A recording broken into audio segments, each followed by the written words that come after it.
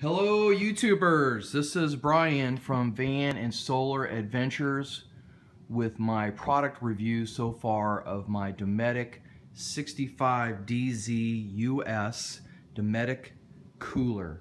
12 volt 110 volt. And I wanted to post this video because I'm very happy with this unit. Although as you can see I got damage in shipping uh, sorry, it's kind of dark, but I got damage in shipping. It didn't go all the way through the lid, so I'm going to return this unit or get a new lid. But other than that, the unit is perfect. Why is why do I say it's perfect? I've been running it for 24 hours. Um, you can see it's below freezing. It's 29 degrees F. Uh, 65 liter capacity. You can see the lights working. I got a freezer compartment. My soda pop is cold. Why am I impressed? Boom. Here is my power reading running at 24 hours with no solar input. 100%. Look, it's only drawing one watt. This thing has basically used zero power in 24 hours. The, the compressor comes on uh, and uses about 45 watts but it, it, shuts off within, I don't know, 30 seconds, 40 seconds. I have to look on their website. And then doesn't come back on for a long time till it needs it. And so 24 hours. Now I will admit it's 75 degrees or so in the house, but it's drawing the temperature all the way down to 29 and zero power usage. So basically, you could almost run this indefinitely well, not really indefinitely. With no solar input, probably, I'm going to take a guess, after a week or two, my batteries would be dead. But with solar input, you could run this indefinitely. And this thing is huge. Look, how, look at the size of this. It's probably twice the size of a nor normal cooler.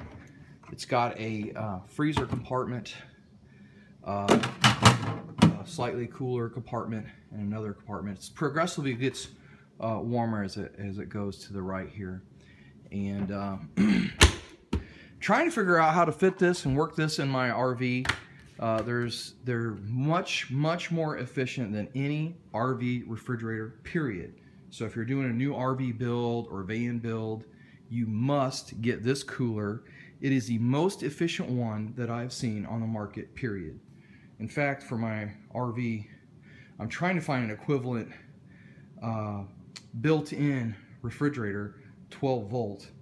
Uh, so far, I, I can't find it. Otherwise, I'd put this in the van, but it, it would it would take up my hallway space. So, anyways, that's um, so far my initial review of the Dometic uh, 65DZ US cooler. There's a couple other videos on YouTube. Feel free to look at those. A lot of other people are happy as well. Um, and if I think of anything else for this, I will let you know. Obviously, by the way, if you store this outside and it's 80, 100 degrees, the compressor is going to come on more often. But again, it's very efficient. Only uses 45 watts for 5, 10 minutes or uh, 15 minutes per hour. Whoop-de-doo, that's, you know, I don't know, drawing maybe 20 watts from your battery, uh, which most batteries, 100 amp hour batteries, about 1,000 watts or so, so you can run it for a long, long time. Also, I bought the cover for this. I don't have it on it yet there's a cover, cover, I think it's only 30 bucks or so, that'll double the insulation around this thing. Uh, you can buy all of this on Amazon.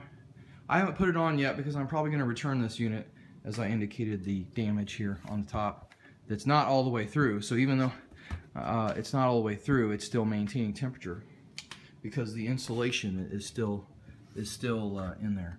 All right, this video is getting too long. Have a good day, people.